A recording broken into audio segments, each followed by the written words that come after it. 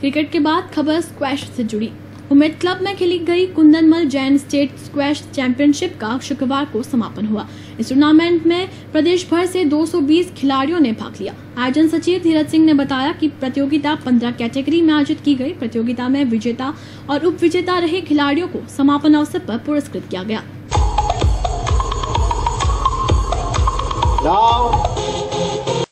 now, now